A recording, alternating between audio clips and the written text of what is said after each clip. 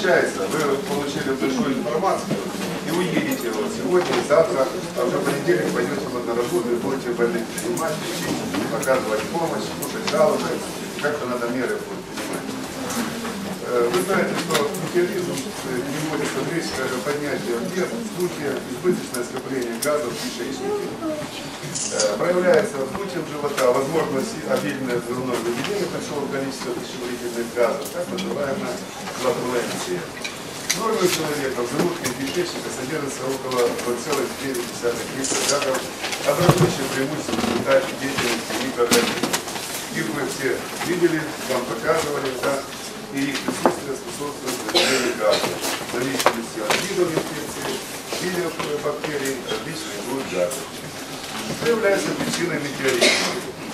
Это воздух, попавший во время поглощения пищи, газ из газированных напитков, газ, образующийся от контакта соляной кислоты и щелочной желчи, вещества, образующиеся в процессе переваривания пищи, выделение воздушных масс во время жизнедеятельности бактериальной микрофлоры кишечника.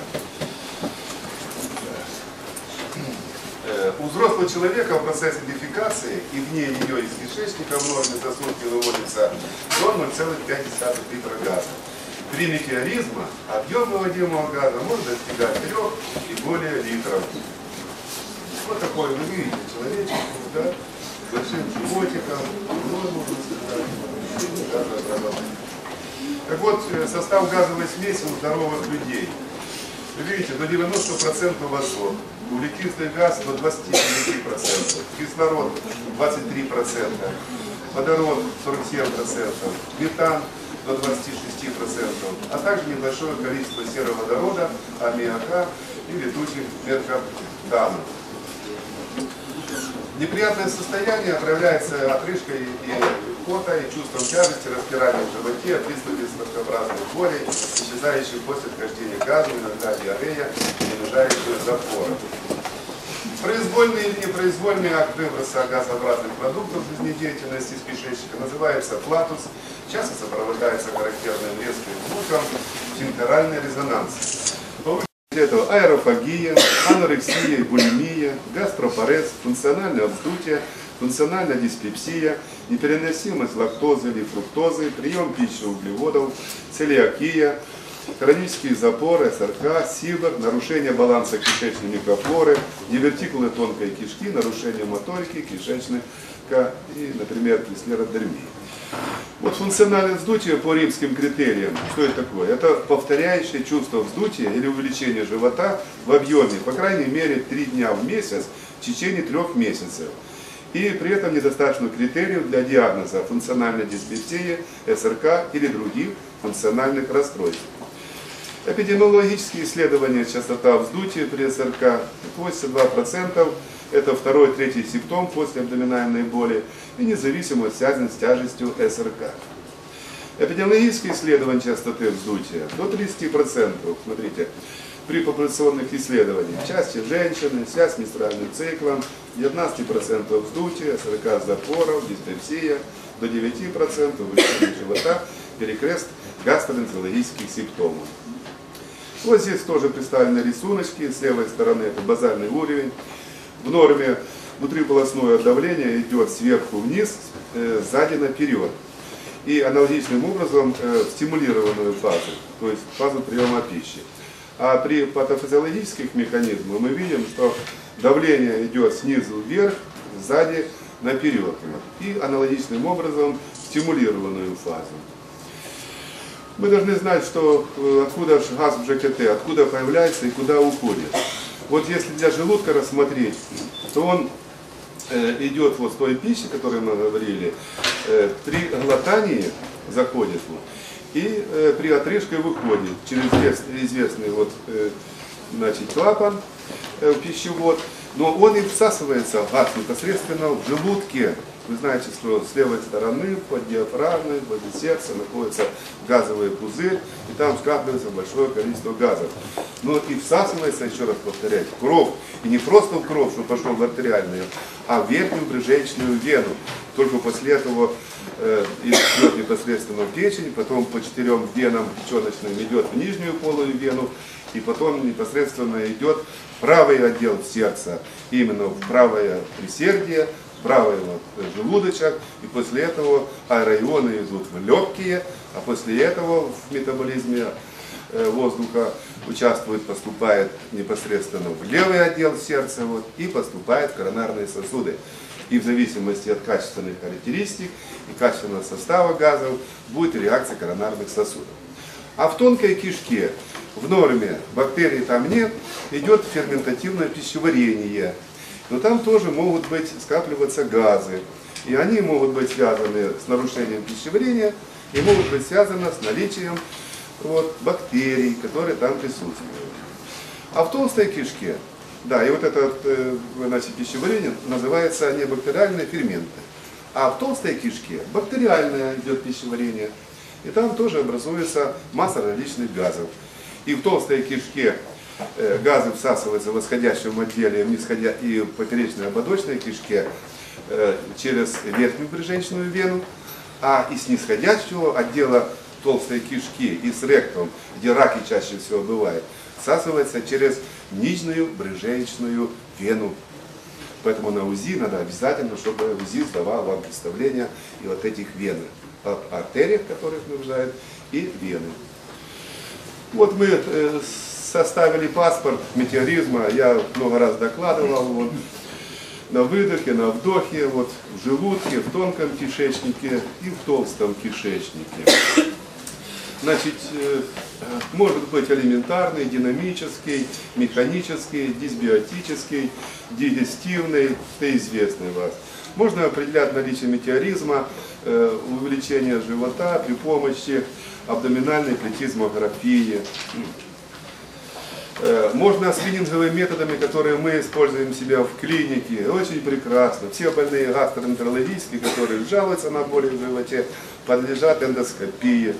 И при эндоскопии забираем воздух прямо с э, желудка, э, с газового пузыря, быстренько анализируем и видим, какие процессы проходят в самом желудке, Э, какие бактерии там находятся, и нам сразу становится понятным, какой процесс метеоризма желудочный. Затем зондом заходим в кишечник тонкий, да, берем газ, районы и видим, какой процесс там проходит. Вот. А когда колоноскопия делается нами, мы заходим в восходящий отдел толстой кишки, берем газы, и в восходящем, поперечно-ободочном, нисходящем отделе и видим, какая флора. Тут же сразу говорим, есть диспиоз или нет, и какая флора доминирует. Сахаролитическая или противолитическая флора, мембран, э, метанобразующая или серообразующая флора. Вы знаете, что сейчас раки в мире доказано, больше там возникает, где скапливается э, метан и сероводород. И у нас э, свои газоанализаторы, тут графические графики выстраиваются. Вы знаете, тот воздух, который мы вдыхаем, он содержит только три компонента, ну два основные. Это 80, 79% азота, 20% кислорода и 1% только углекислого газа и других газов. Все. А когда человек выдыхивает, то вот эта пропорция э, по азоту остается практически неизменным вот, но снижается концентрация кислорода и увеличивается различное количество газа. И они вот могут быть связаны с деятельностью бактерий, и пищеварением. И вот характера пищеварения будет и газовый состав, и нюхательный состав этих газов и так далее. У нас селективные датчики, которые определяют массу этих параметров сразу.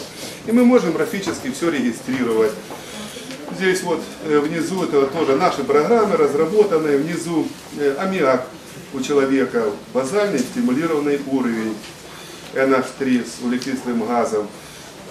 Здесь э, сероводород образующие бактерии у человека, то есть э, дисбиоз толстого кишечника с доминированием сероводород образующих бактерий.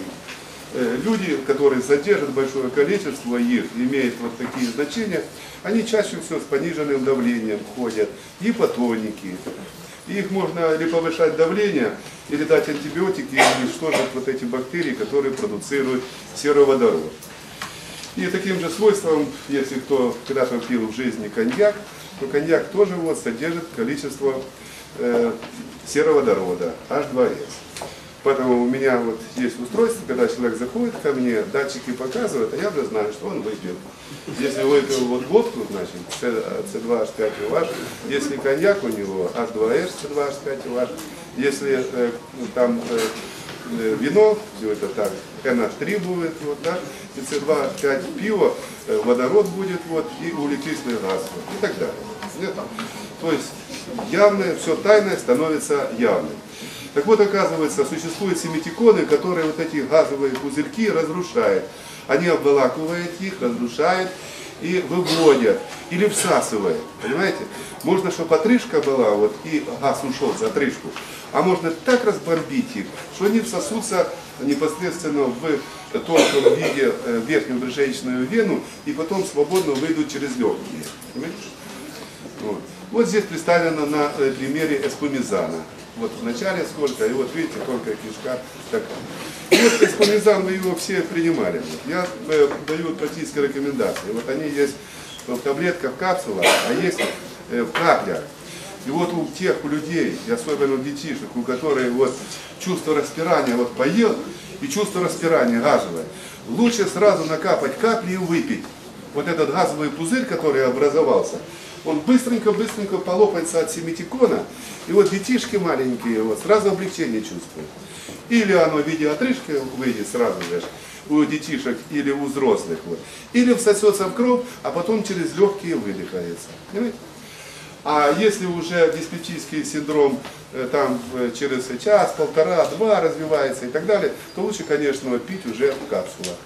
Сразу с едой из капсулы. Вот, это помидор капсула. И вот ребеночек, и животик болит у него, а он капли, капли и все. Ну и повторяю, и взрослых. Ну, обязательно давать ферментные препараты при синдроме метеоризма. Не надо стесняться. Вот мезилы различных видов, пангролы, пангролы, пангролы. Вот. Начинается пищеварение. Чем быстрее пищеварение наступает, даже в желудке, может, они погибнут, половина, вот. но зато в 12-перстной кишке меньше будет работы. И здесь что сказать, что пангролы, еще раз повторяю, я говорил, что э, пангрол э, чем отличается от других ферментов, то можно непосредственно э, рассчитывать для беременных кормящих и стартовые дозы можно легко рассчитать на килограмм массы.